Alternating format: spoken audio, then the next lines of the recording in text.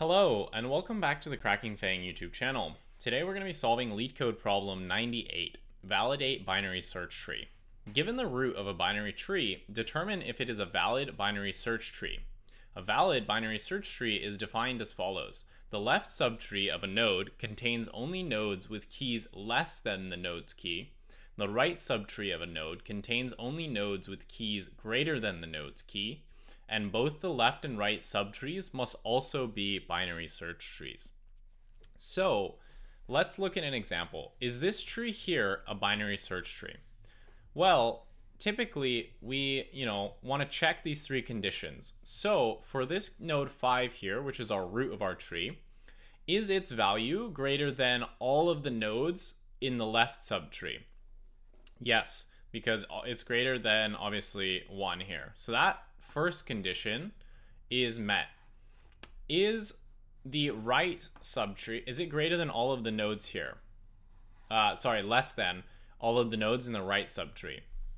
No, because we can see that 5 is greater than 4, which is not allowed, and it's also greater than 3, but it's less than 6. So these two nodes here violate this second property. And also, remember that all of its children must also be valid binary search trees. So if we looked at this tree here, this is a valid binary search tree because the node 4 is greater than 3 and it's also less than 6. So even though this subtree is valid, because 5 is greater than 4 and 3 here, this is not a valid binary search tree. So all three of these conditions must be met. And that's the reason why this tree is not a valid binary search tree. So for the purposes of this exercise, a node that is a leaf is a valid binary search tree because technically it doesn't have any children. So this part is fine. You know, an empty binary search tree is a binary search tree. And because the nodes are empty, then this this part also holds true. So a leaf is actually a valid binary search tree. So the way that we do this, we do this in a DFS manner. And we're gonna go all the way down to the leaves and we're gonna ask ourselves, okay, so obviously we know that a node by itself is a valid binary search tree if it's a leaf. So that means that three is a valid binary search tree and six is a valid binary search tree. So now we go up to four. And what we wanna do here is pass in the largest value that we saw coming from, you know, this left side, which was 3, and also the smallest value we saw, which was also 3. And on this side, what is the largest value we saw? 6, and the smallest value we saw was also 6. So now at the 4, we need to ask ourselves these three questions, right? Is 3 a binary search tree? Is the left side a binary search tree? It is. So left is a binary search tree. Is right a binary search tree? It is. And also, is our value 4, is it greater than the largest value we saw on the left? So is it greater than 3? And is it also less than the smallest value on the left?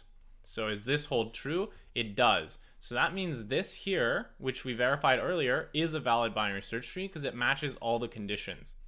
Now what we want to do when we return to the next level is we're going to return that, you know, we had a valid binary search tree from the right side here of this 5. So we would return true that the right side is a valid binary search tree. And we also want to return the smallest value that we've seen uh, here. So the smallest value is going to be 3. And the largest value we've seen is 6. Then we want to do the same thing for this 1. So this 1 is a valid binary search tree. So from the to the 5, we want to return true that we have a binary search tree that's valid the largest value, sorry, the smallest value we've seen and the largest value in that path. So what we want to do now is at five, we need to check, okay, is the left side a valid tree? Binary search tree, sorry. Yes. Is the right side a valid binary search tree? Yes. Now we need to check whether or not our conditions for the tree hold true. So what is the largest value we saw in the left subtree? One. Is five greater than that? Yes, so that part holds true. But is 5 also less than the smallest value we saw in the right tree? 3. No, this value is not, this part doesn't hold true. Therefore, this entire thing is not a valid binary search tree because we have violated the, um, the right subtree requirement. So that's how we want to do it. We're going to do it in a bottom up manner and basically pass up whether or not our, you know, previous, uh, you know, whichever side we were going from was a valid binary search tree, the smallest value we've seen and the largest value. And then we need to make these checks.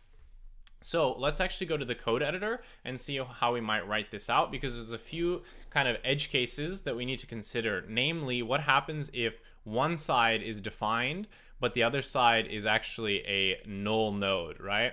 That presents a little bit of a challenge for us, but no worries, we're gonna solve it. Let's go to the code editor and see how. We now need to validate our binary search tree, and we have to write the code to do that. So remember that we want to use some sort of function which is going to tell us whether or not a binary search tree is valid. And we needed some extra information to make that decision. Namely, whether or not the node that we're asking for is a valid binary search tree. So we're going to get either true or false. Then we're also going to get the min value uh, that we need uh, in order to make the comparison of whether or not, you know, um, these conditions are met at a given node. And we also need the max value to make that same comparison for that right subtree. So we're going to have some helper function which returns this tuple. And when we call this on the root, the return will be whether or not the actual entire tree is a binary search tree. But recall that this is going to be a tuple, and we're only really interested in this first value for the actual re result here. So what we want to do is we're simply going to return, so we're going to say return self.bst helper. We're going to call it on the root, and remember that it returns a tuple, and the first element is going to be whether or not it's actually a valid binary search tree. So we're just going to return that first element here, which is at index 0. Now for the fun part, we actually get to code the BST helper function. So we're going to say def BST helper, and we're going to take in a node. Now, what happens if our node is null? Obviously, a null node is not a valid binary search tree. So we want to return false here. So we're going to say if not node, we want to say return false float infinity um, as the minimum value, float negative infinity as the maximum value. And this part doesn't really matter because we're going to handle the case where we actually have null nodes separately. We just need to return something because if we hit a node that's null and we don't return anything, it's going to mess ourselves up. We simply need to return stuff. We're not actually going to use these values. So what we want to do is just return something so our function doesn't blow up. But the values that we choose here don't really matter because we'll handle the case where a, a node does not actually have a left or a right child. So remember that we said that even though an empty, you know, a null node is not a valid binary search tree, all leaf nodes are valid binary search trees because they don't have any children. So technically they are valid binary search trees. So let's handle the case where we're actually at a node, uh, at a leaf node. And the way that we check for a leaf node, remember, is that if a node does not have a left or a right subtree, left and right subtrees, both have to be empty. So we're going to say if not node.left and not uh, node.right, basically we are at a leaf. So leaves are always valid binary search trees. So we're going to return true. And we're going to return, so what is the smallest value that we've seen so far? Obviously, there's only one value in this binary search tree, which is the nodes value. So we're going to return node.val as the minimum value that we've seen. And the maximum value we've seen, similar to the minimum, we've only seen one value, so therefore it's just whatever the node.val is. Now, if we're not at a leaf node, we need to actually process, um, you know, the left subtree, the right subtree, and then make a decision of whether or not uh, we have a, bi a, valid binary search tree using the information from the left and the right and our current node's value. So we're doing this in essentially a post order traversal. We are going to the left subtree, then the right subtree, and then processing that information alongside with the parent. So remember that our function returns whether or not a given subtree, or I guess a tree, is a valid binary search tree it returns the minimum value we've seen on that path and then the maximum value that we've seen in that tree. Um, if we go, you know, to the left or to the right respectively. So let's define those functions, uh, those variables, sorry. So we say left is BST, and then the left min, whoops, the left minimum, the left maximum is gonna equal to self.bst, oops, helper. So we're gonna call it on node.right, node.left, sorry, geez, what is going on with me today? Uh, node.left. So we're gonna explore the left subtree and check whether or not it's a valid binary search tree. And we need to do the same for the right. So we're going to say R is BST, and we're going to say the right minimum and the right maximum is going to be self.bst helper, and we're going to call it on the, the right this time. And now we need to do our checks. So there's a few cases that we need to do here, and we need to check all of them. The first case is that for a given node, it has both a left and a right subtree, and those are both binary search trees. In that case, we just need to validate whether or not these two hold true, and if it's true, then we can return true to the next stage. So we're gonna say if, if the left is a BST, and the right is a BST, so that takes care of this condition, and remember that we need to verify that our current nodes value is greater than all the nodes in the left, which is going to be represented by L max. So if we're going to say L max is less, uh, less than our current nodes value, and remember that the right subtree has to be greater than the value of our current node. So the smallest value in the right subtree needs to be still greater than our current nodes value. So if this holds true, basically this here, if our node's value is greater than the left max and the right minimum, which means that our node's value is greater than less than all the nodes in the right and greater than all the nodes in the left, then this tree here formed by taking our current node and the two left and right children is a valid binary search tree. So we can return to the next level. So we're going to say return true. And remember that the smallest value we've seen is going to be the L min, and the largest value is going to be the R max. So we return that to the next level. Now we handle some other cases where let's say the left is a valid binary search tree, but we actually don't have a right child because it's empty. For example, you know, say if we're at this four and it had a the three here, but this six actually wasn't defined then it, it would not matter because this is still a valid binary search tree even without the 6. So we need to handle that case where the right child doesn't exist, and we need to handle the case where the left child doesn't exist. So let's do that. So we're going to say else if left is a binary search tree and not node.right. So the node.right on our current node doesn't exist. And um, our current node.val is greater than the left minimum, then, oh, sorry, the left maximum, apologies. Uh, if it's greater than the left maximum, then this is still a valid binary search tree.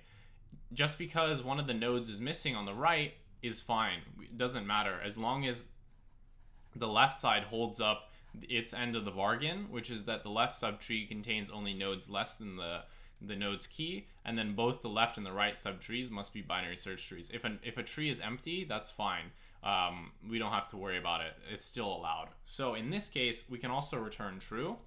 We can return true, and in this case, the smallest value is still going to be the left minimum, and the largest value is going to be node.val. And the reason for this is, remember, for it to be a valid binary search tree, node.val needs to be greater than all the values in the left tree, which means that the largest value of the new tree that we're forming by taking the left subtree in our current node is going to be the node.val because that right subtree is empty. Therefore, we're not getting any sort of uh, rmin and rmax for us to use. Okay, now that we've done that, we need to do the reverse case where node.right is defined and it's a valid binary search tree, but the left is not. So we're going to say else if R is BST and not node.left. And this time node.val is going to be less than whatever the smallest value in the right subtree is, similar to how we had up here. Except this time we don't have to compare with the left because the left doesn't exist. In this case, it's also going to become true. So we're going to turn true. we're going to return, in this case, node.val, because this is now the smallest element in our new binary search tree. Because remember, node.val needs to be smaller than all of the values in the right, and we're basically conjoining those two. And therefore, node.val will be the smallest element. And then what is the, the largest element? It's still going to be whatever the right max is.